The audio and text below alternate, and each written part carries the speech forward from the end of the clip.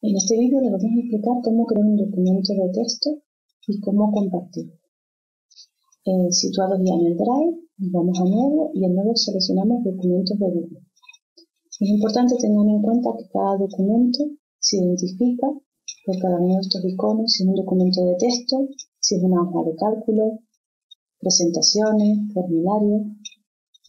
Entonces vamos a seleccionar documentos de texto, que puede ser un documento en blanco o desde una plantilla. Seleccionaremos el documento en blanco y este documento que estamos creando de texto es muy similar a otros procesadores de texto que utilicemos habitualmente, como puede ser el Word, el OpenOffice, etc.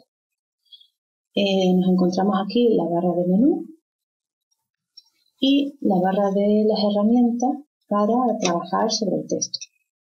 En primer lugar, en la parte superior vamos a ponerle el nombre a este documento que lo vamos a llamar materiales.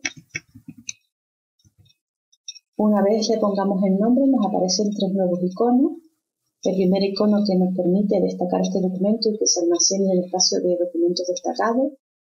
Nos permite también mover este documento a su carpeta. Este, hemos creado este documento en la unidad, en unidad, en la raíz, y podría moverlo a una carpeta que yo tenga en mi unidad. En este caso vamos a moverlo a documentos y le decimos mover. Acabamos de mover el documento que estaba en la raíz a una carpeta. El siguiente enlace que tenemos, a través de este enlace nos saldrá, eh, podremos visualizar pequeños comentarios que nos van indicando que el documento se está guardando.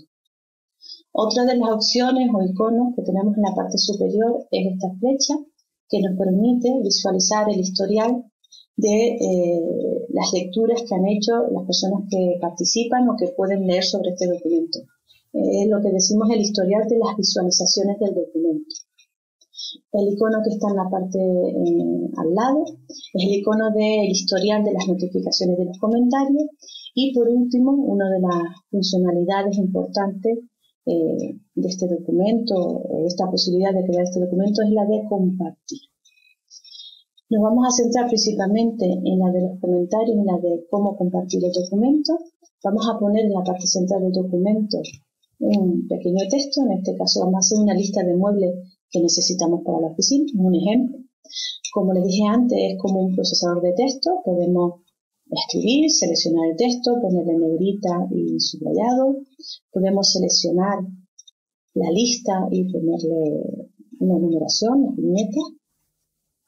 Y podemos trabajar sobre texto como si estuviéramos en, otro procesador.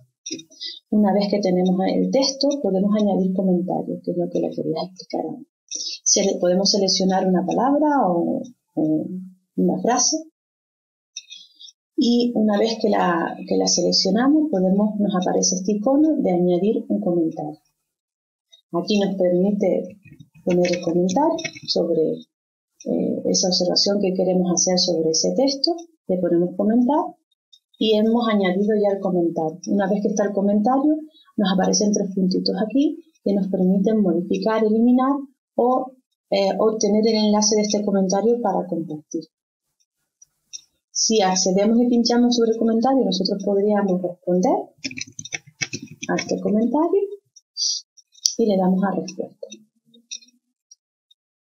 Si ahora accedemos al historial de notificaciones, nos vamos a encontrar el comentario con su respuesta, Y podríamos también la posibilidad de darlo por resuelto, que ese comentario se resuelve. Le vamos a dar a resolver y una vez que lo resolvemos, vemos que ya el comentario, ya no está marcada la palabra, ni seleccionada, ni aparece el comentario. Si quisiéramos reabrir ese comentario que se puso en su momento, eh, tendríamos que ir al historial de las notificaciones de comentarios y decirle aquí la posibilidad de reabrir otra vez el comentario.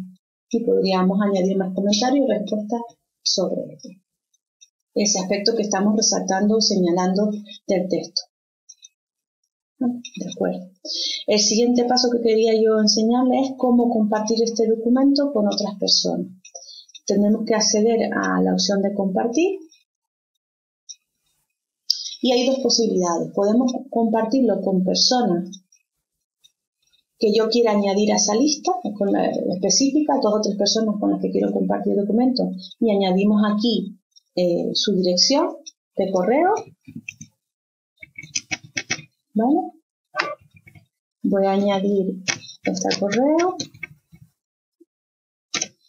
Y el siguiente paso es decir qué permiso le voy a dar a esta persona con la que estoy compartiendo el documento, que sería pues de editor, comentador o lector. Le voy a decir que como lector nada más. Y le podemos mandar una notificación y le damos a enviar. A esa persona le llegará eh, una notificación donde eh, tendrá el acceso a este documento para solo lectura, con la función o con, eh, con el permiso de lectura. Voy a acceder otra vez a compartir porque vamos a ver el otro modo de compartir. Aquí lo hemos compartido con una persona, pero podríamos compartirlo con un grupo de personas numerosos. Entonces, para eso, lo que tendremos que hacer es, tenemos la posibilidad de diferentes opciones. Está restringido con personas que forman parte de mi comunidad o mi organización o cualquier persona a la que yo le dé el enlace de este documento. Restringido sería la forma en la que se lo expliqué anteriormente, eh, añadiendo en el listado a personas específicas que yo quiero compartir, con las que yo quiero compartir ese documento. ¿Vale? En, este, en este momento, restringido estaría simplemente compartido con la persona que yo he puesto eh, en la primera opción. Ahora, si yo eh, quiero compartirlo con miembros de la universidad, como está ahora, lo marcaría, pero si quiero compartirlo con cualquier persona que tenga ese enlace, marcaría la tercera opción indicando qué permiso le voy a dar y en este caso también le voy a dar el permiso de lector. Cualquier persona que tenga este enlace le voy a dar el permiso de lector. Y por último me faltaría, listo. Entonces, si nosotros queremos compartir, lo vamos a encontrar que ahora mismo está configurado para compartido con esta persona de forma específica y compartido con cualquier persona que tenga este enlace. Podríamos cambiarle a esta persona con la que yo lo he compartido de forma específica y darle el permiso de, editor, ¿vale? Y le vamos a dar a guardar. Y con el resto de personas solamente van a estar como lector. Pues estas serían las funciones eh, más destacadas dentro eh, de un documento de texto del Drive, que sería cómo añadir comentarios y cómo compartir